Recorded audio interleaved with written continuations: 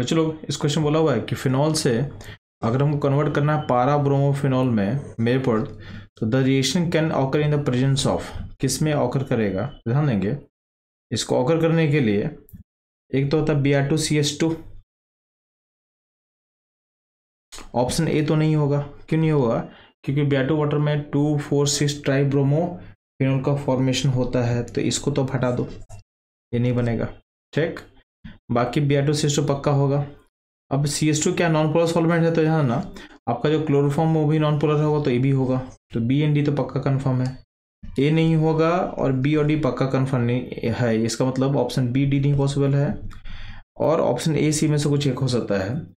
अच्छा ध्यान देना, आपका जो फिनॉल सिस्टम है वो सिस्टम में ओ एच ऑर्थन पैराडाइटिंग है। तो सी ऑप्शन में जो है, आपका B R plus profile create होगा। ये आपके ऑर्थन पारा बनेगा और पारा बनेगा मेजर इसका मतलब सी को भी हम इंक्लूड कर सकते हैं। तो अपना जो ऑप्शन होगा बी सी डी इन सारे केस में क्या है? ब्रोमीन से पारा पोजिशन पे जुड़ेगा। ठीक है?